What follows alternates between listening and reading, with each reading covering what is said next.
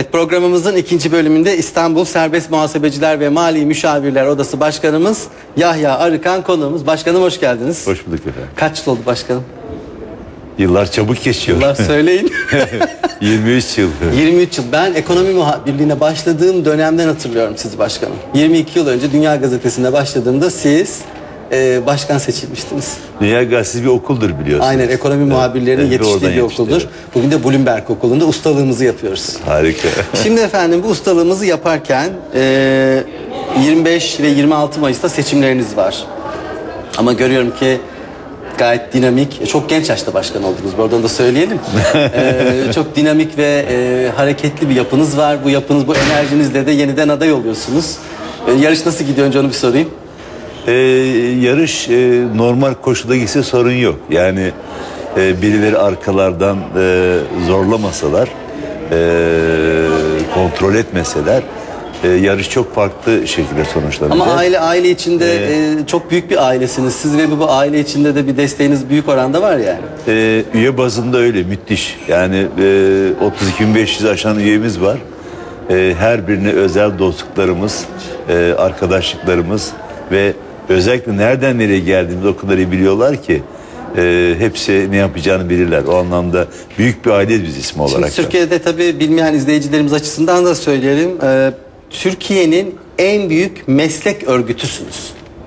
Şöyle diyelim akademik meslek odaları içerisinde en büyüğüz. Akademik meslek Evet. odaları içerisinde. Yani baro, tabipler, mimar, Tabii, mühendisler. Evet onlar şeyinde 30 gün 500 üyeyle mesela baro e, şöyle söylüyor biz dünyanın en büyük barosuyuz diyor. E, bir gün öyle bir aramızda sohbet geçti. ya dedim bizim sayı 30 gün mü ya öyle mi filan dediler.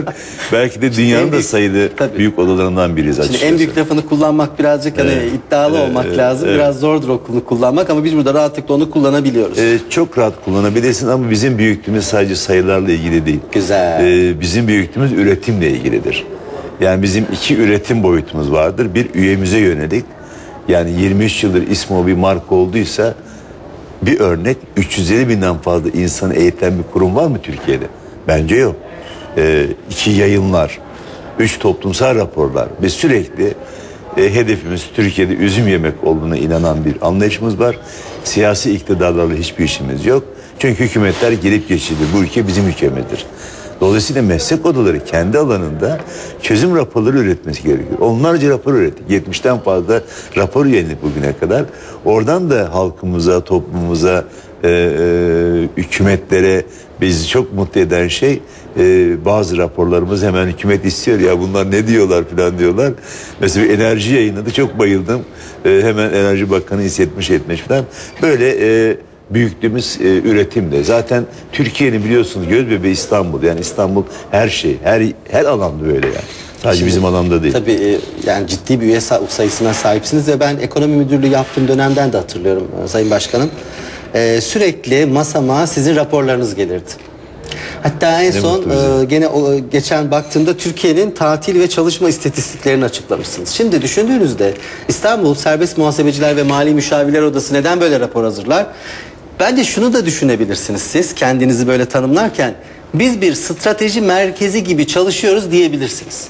Hükümete politikalar üreten, basına politikalar, e, projeler üreten ve bu politikaları yazılı hale döküp işte az önce dediğiniz Enerji Bakanımız Sayın Taner Yıldız rapor istemiş. Enerji raporunu.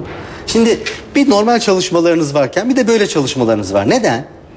Bu meslek odalarının olmazsa olmazı bize göre. Aslında ideal ideal Ee, bu değil mi? Tüm meslek odaları bakın hükümetlere, bu ülkeyi yönetenlere kendi alanında çözüm raporları üretmek zorunda.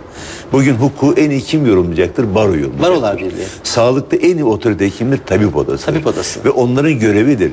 Ee, ve bunların hepsi de insana yönelik olan çalışmalar. Biz bizim raporlarımız e, bir, bir bakın mutlaka birinde insan vardır. Mesela son e, tatil raporu da insana Çok ilginçti o rapor. Ben çok şaşırdım. Bir sizin tarafınızdan çıkmış olması da hani eskiyi bildiğim için şaşırmadım. Ama ilk okusaydım çok şaşırırdım. Ne alaka derdim. İkinci şaşırdığım nokta Türkiye üçüncü. Ama sondan üçüncü. 25 gün tatil yapıyormuşuz. ve yani e, en az tatil yapan sondan üçüncü ülke biziz. 34 OECD ülke arasında sondan üçüncüyüz. Ee, hakikaten enteresan bir tablo. Ben açıkçası her yerde bunu itiraf ediyorum. Bu rapora kadar ben Türkiye'de en fazla tatil yapan ülke biz kendimizi zannediyoruz. Ben de öyle zannediyordum. Ne zaman baksak yok resmi tatil, yok işte ücretli izin ama maalesef olay tam tersine. Bey. Tam Şimdi tersine. e, çok sıkça tartışıldı Türk Ticaret Kanunu. Şimdi Türk Ticaret Kanunu ile ilgili eleştiriler de yapıldı. İşte e, bakanlıkta dedi ki biz bir kanunu çıkaralım sonra bir takım yönetmeliklerle bunu değiştiririz. Bazı işte aksaklıklar olabilir falan dendi. Ama galiba bir şeyler hazırlanırken hani çok fazla hani öncesinde hani konuşma, danışma çok da fazla layıkıyla yapılmıyor gibi geliyor ki hani sonradan değişikliklere ihtiyaç oluyor.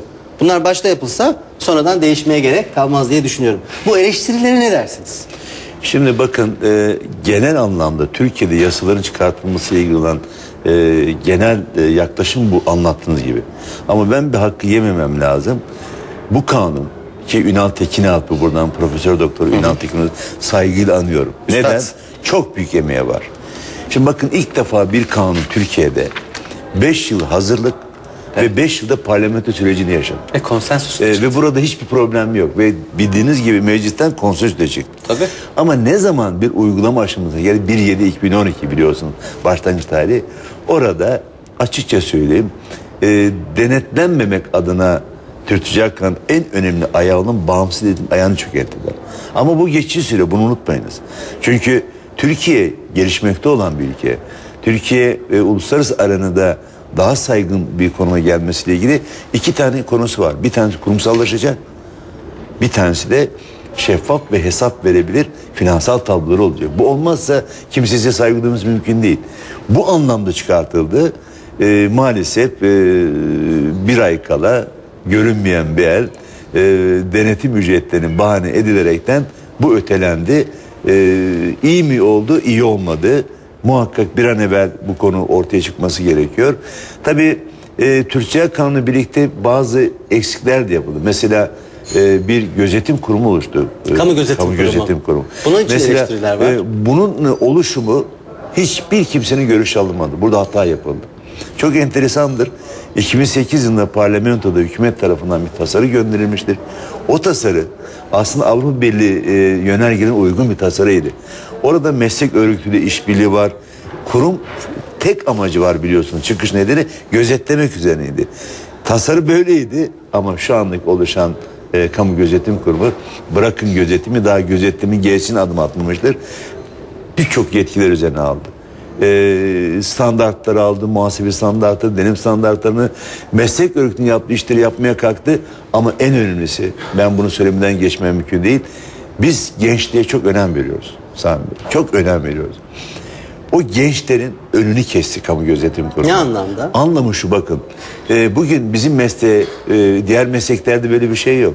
Kimse elini kolunu sallayarak giremez bu mesleğe. Üniversiteyi bitiren bir kişi önce staja başlama sınavına giriyor. Arkasından 3 yıl staj yapıyor. Ve arkasından yeterlik sınavına giriyor. Kamu gözetim kurumu diyor ki hayır bu olmaz diyor. Bu ruhsat yeterli değil diyor. 3 yıl daha staj yapacaksın diyor. Tekrar sınava gireceksin E kaç diyor. yaşına geldik efendim? Bu böyle bir şey yok. Bu dünyanın hiçbir ülkesinde yok. Israrla nokta bu. Bir no- nokta bu. İkincisi e, biz hakikaten biraz önce ifade ettim. Eğitimde bir markayız İstanbul Marmaris Odası olarak. Bakın yine Türkiye'nin en büyük projelerinden bir tanesi. TÜRMOP eğitim projesi. Ki İstanbul üretmiştir bunu. TÜRMOP uygulamıştır. Bakın ne yaptık biliyor musunuz? İstanbul'da 15 bin kişiyi bir gün TTK, iki gün TFRS, dört gün denetim eğitimi, kar demeden, kış demeden, akşam demeden herkes bu eğitimlere katıldı. Bu eğitimler Türkiye'nin 40 bin kişidir. Kamu Gözetim Kurumu hiçbirine cevap vermeden bu eğitimleri yok saydı ve üniversitelere yönlendirdi. Ama karşında ne biliyor musunuz? Ayda şey e, bir eğitim bedeni 3000 TL. Çarpın e, 40 bin kişi Türkiye genelinde Of. 3000 liradan 120 milyon TL.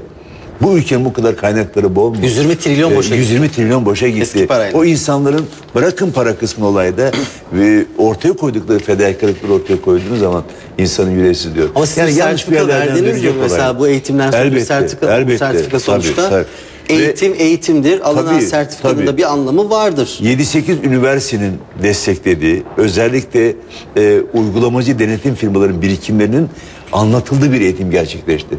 Ve o kadar disiplini yapıldı ki barkodlarla e, sabah e, bir saatte başladı bir saatte bitti. Herkesin giriş çıkışları barkod altına alarak bir sistemle bu işleri takip. Ama ne derler yanlış bir yerden döner biliyor musunuz? E, çünkü yanlış üzerine bir gelecek kimse kuramaz. E, biz e, özellikle feryadımız, isyanımız genç arkadaşlar adınadır. O gençlerin önünü kimsenin kesmeye hakkı yok. Zaten çocuklar üniversite aşamasında biliyorsunuz girerken bir yarış atı gibi hazırlanıyorlar. Büyük bir zorluklarla üniversiteye katıyorlar. Arkasından dört yıl eğitim e, yaşadıktan sonra tekrardan bir mesleğe girişte dünyada olmayan 10 kere sınavlarla bu iş olmak bu, bu düzelecek Peki, Kamu ama. Gözetim Kurumu nasıl bir işlev uygulamalı ya da ol, ol- var, var ki bugün hani e, ne yapması lazım aslında? Orijinalde ne yapması lazım? tek bir şey yapacak, gözetim yapacak. Bakın şu anda siz bu e, süreci çok iyi biliyorsunuz. SPK kendi işini yapıyor. Kamu gözetimine ilgisi yok. BDDK kendi işini yapıyor. En son Gümrük ve Ticaret Bakanlığı torba yasayla biliyorsunuz bir eksiklik yapıldı. Ana müşketlerin murakaplık ortada boşluk kaldı. O yetki de bakanlık aldı. E, Gümrük ve Ticaret Bakanlığı. Tüm ana müşketlerin denetimine ilgili bir uygulama gidiyor yakında. Peki kamu gözetim kurumu yapacak? Bugüne kadar stand, muhasebe standartları kurumu çok başarılı bir kurumu kaldırdılar. Ortada bir şey yok. Denetim standartları zaten İFA üyesi. TÜRMOB'un elinde bu denetim Evet, denetim standartları. zaten TÜRMOB yapıyor. Dolayısıyla bakın e, hiçbir şey geç değil. Biz yıllardır kamuyla çünkü meslek odalarının bir görevi var. E, kamu kurumu niteliğindeki meslek odalarıdır. Yani kamuya hizmet etmek zorunda. Ama siz zaten kamu yararı gütmek zorundasınız. Y- Yani kuruluş amacımız Yani bizim kuruluş amacı o. Bu anlamda e, yanlışı bir an düzelsinler. E, kamu gözetim kurumu tek bir görevi var. Gözetlemektir. Ben zaman zaman birçok yerde de söyledim. Biliyorsunuz kamu gözetim kurumlarının oluşum nedeni Enrol skandalından dolayı çıkmıştır. Böyle giderse Enrol'dan beter olur bu kurum. Bunu hep birlikte yaşayacağız Türkiye'de. Bir de bilirkişi mevzusu var. Ee, bu bilirkişi mevzusunda da hep böyle sanki haksız kazanç mı sağlanıyor, bu sistem tam oturmadı mı gibi eleştiriler var. E, o da yavaş yavaş oturmaya başladı. UYAP denen bir sistem kurdular biliyorsunuz. E, eskiden hakim bir kişiye binlerce dosyayı dağıtabiliyordu. Şimdi sistem e, bir kişinin bir yılda yapacağı e, bilirkişilik raporunu sınırlama getirdi. Dolayısıyla e, bundan sonra o şey olması çok zayıf ihtimal. Diyelim ki tam rakamları bilmiyorum 500 gibi bir sayı biliyorum. Yılda 500'den fazla bilirkişi raporunu düzenleyemiyorlar. Sistem otomatikman dolmuşsa onun şeyi kotası başka bir bilirkişi aktarabiliyor. Bu düzelecek e, yakın süreçte. Ama zaten siz bir e, meslek kuruluşunun başkanı olarak e, bu aksaklıkları söylüyorsunuz ve bu aksaklıkların giderilmesi açısından da hem Adalet Bakanlığı'nı hem Gümrük Ticaret Bakanlığı bütün bakanlıklara da siz bu raporları aslında o yüzden hazırlıyorsunuz. Yani bu aksaklıklar giderilsin. Çünkü kamu yararı için çalışıyorsunuz. Bizim tek görevimiz bu. Ee, bilirkişilik üzerine biz onlarca eğitimler düzenledik. Mesela bakın kimse çok az bilir. Adli muhasebe diye biz bir bilirkişilik e, sistemi O oluşturduk. ne efendim? Ee, hile denetimi yapıyor. Hile denetimi. Evet. Bakın bir size bir rakam söyleyeceğim. Dünyada her yıl hileden dolayı e, kayıp kaç para biliyor musunuz? 3 trilyon dolar. Rakam size söylüyorum. Of. Her yıl kurumlarda, özel sektör ve kamu kurumlarında 3 trilyon dolar hile dönüyor olayda. Oradaki çalışanlar vesaire sistemden dolayı. İşte biz bunu bir uzmanlık sertifikasının haline dönüştürdük ve bunun eğitimini verdik. Ama e, iş, iş dünyası daha bu işlerin farkında değil. Biz bu eğitimleri vermeye devam edeceğiz. E, böyle bir e, akademi vasıtasıyla yaptığımız Al sana bir eğitim tasarruf. çalışması var. Tabii, tabii. Harcamadığımız paralar Tabii. aslında ciddi tasarruf. Bu Tabii. da yeni yatırımlara gidecek sermaye demek. Kesinlikle. Ne kadar inovasyona önem veriyorsunuz? Ben şimdi onu dikkat ettim. Yani hep böyle farklı ve yeni bir şeyler yapmak. Bu yeni dönemde de yeni projeler var mı? Çantada neler var? Ee, e, üç tane hedefimiz var. Üç hedef. Ee, üç hedefimiz var. Bu zaten olağan eğitimlerde, markolunuz, yayınlarda ona devam ediyor. Orada bir sorun yok. O bizim Raporlar işimiz. devam edecek. Bizim masalara gelecek yani Gelecek onlar. orada işler. O bizim Güzel. e, bir strateji merkezi gibi çalışma üretmeye devam edeceğiz. Üç tane hedefimiz var. Bir serbest çalışan meslek mensupları, iki bağımlı çalışanlar, üç gençler. Hemen gençleri biraz önce anlattım. Vakitin dar olduğunu biliyorum.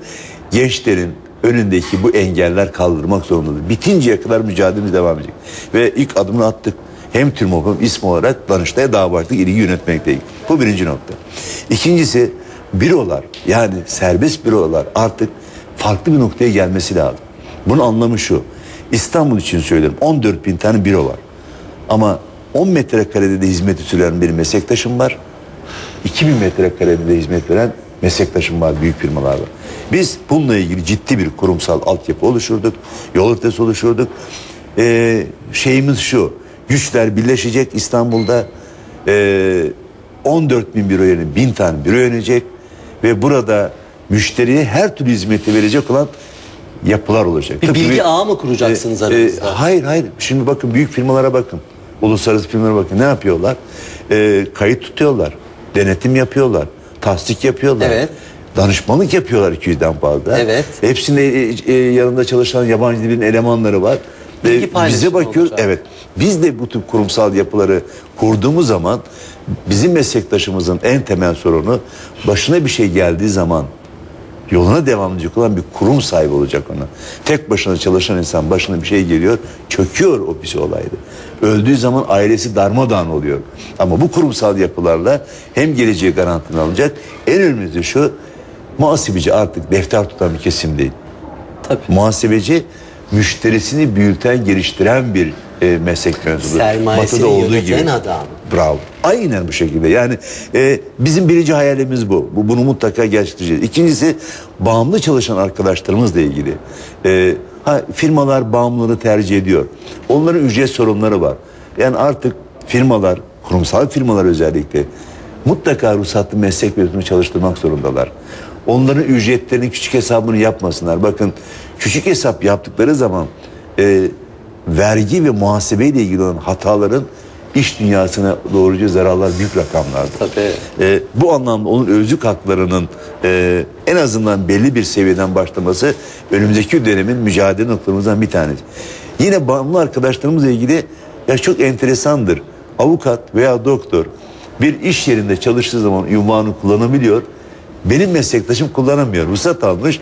Yasadan yönetmekten kaynaklanan bir olgu. Bunu da mutlaka düzelteceğiz. Bir mali müşavir ruhsatına sahip olan bir arkadaşım ister serbest çalışsın, ister bir iş yerinde çalışsın o ünvanı kullanacaktır. Yani kısaca üç nokta. Serbestler, bağımlı ve gençler. Ee, her şeyimiz gençler onu söyleyeyim. Her şeyimiz. Çünkü biz bir yere kadar mesleği taşıdık, getirdik. Marka olduğunu inanıyorum. Ama bu mesleği daha saygın konuma getirecek olan genç arkadaşlarımdır. O yüzden 23-24 Mayıs, e, 25 e, 26. 26 Mayıs son derece önemli cumartesi pazar Lütfü Kırdar'da yapılacak. Herkesi davet ediyorum. Herkes gelsin. Hiçbir meslek örgütünde olmayan sadece mali müşavirliğinde olan bir nispi temsil sistemi var. Bu nispi temsilini sona erdirmenin yolu o genel kurula katılmak. E, kime inanıyorlarsa ama yönetimleri bütün seçsinler. Bakın e, ben rakiplerimizle hiçbir şey konuşmayacağım. Ama konuşmamız gereken şey küçük hesaplar değil, küçük olaylar değil. Gelecek, gelecek, gelecek. Bir meslek batıda o kadar saygın ki nasıl sağlamışlar bu saygınlığı? Bu yollarla sağlamışlar. Biz bunu arkadaşlarımıza sağlayacağız. 25-26 Mayıs bir demokrasi şöleni gibi İstanbul'da gerçekleşmesini diliyorum. Özellikle küçük hesap yapanlar, meslek mensubuna yanlış yapanların başta gençler olmak üzere genel kurulda en güzel cevap Hem zaten şirket körlüğü dediğimiz e, olguyu e, mali müşavirler ve serbest muhasebeciler o şirketler adına yok eden, onları farklı bakış açılarına e, yönlendiren insanlar ve sermayemizi yöneten insanlar baktığımız zaman. Peki hem programdaki son sözleriniz hem de o gün kürsüde bir konuşma yapacaksınız. Oradaki son sözleriniz ne olacak? Son sözüm muhasebe camiasının her şeyin en iyisine layık olduğunu belirtmek istiyorum. Mücadelemiz ve yürüyüşümüz 23 yıl önce çıktığımız yolda ekip arkadaşlarımızda ve tüm üyelerimizde bu yürüyüşe devam edecektir. Ee, bir şey daha ifade etmek istiyorum. Ee, İSMO çalışanları üzerine bir sürü karalama var. Yakıştıramıyorum hiçbir kimsine. Emekçilerle kimse oynamasınlar. Ee, 65 tane çalışanım 32.500 insana hizmet vermektedir. Ee, onları da buradan emeklerinden dolayı ekip arkadaşlarım yanı sıra da teşekkür ederim. Yahya Arıkan İstanbul Serbest Muhasebeciler ve Mali Müşavirler Odası Başkanı. Allah yolunuzu açık etsin diyoruz. Sağ olun teşekkür efendim. ederiz. Çok teşekkür Enerjiniz ederim. bol olsun. Sağ olun Ağzınıza efendim. sağlık. Evet Teşekkür efendim ederim. Sağ olun. 25-26 tarihlerinde önemli bir seçim var. Türkiye e, İstanbul'da özellikle muhasebeciler, mali müşavirler başkanını seçecekler. Biz Türkiye'de güzel işler oldukça, yeni haberler oldukça bunlardan sizi haberdar etmeye devam edeceğiz. Sizler de bizden ayrılmayın diyoruz. Hoşçakalın.